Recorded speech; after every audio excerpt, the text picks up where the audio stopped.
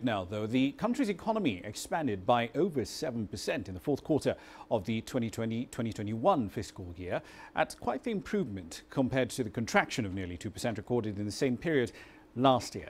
CGTN's Yasser Hakim now takes a look at how the North African country managed to achieve that growth number and the plans going forward.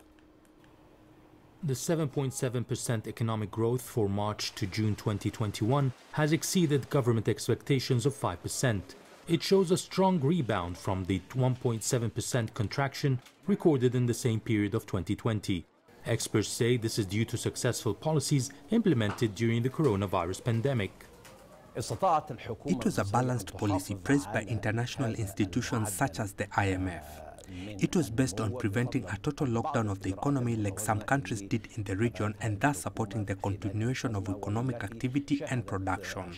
Other steps relate to the strict anti-COVID measures and the vaccination process allowing living conditions and the economy return to near normal levels. Some sectors saw positive growth during the pandemic year, like telecommunications and IT.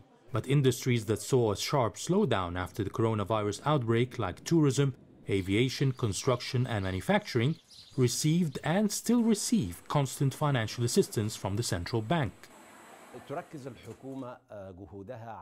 The government also focuses on supporting the sectors that contribute to economic growth like trade, retail and consumer-related sectors and they have seen a 15% growth. This was fostered by the expansionist policy by the central bank stimulating the market and creating a strong purchasing power within the family segment during the crisis. Going forward, the government will continue to focus on these sectors that account for 47% of the national income.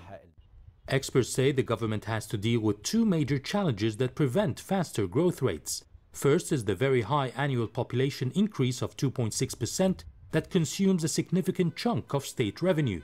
Secondly, there's an urgent need to speed up the vaccination process to allow the country to return to normalcy, and through that allows the full resumption of most economic activities.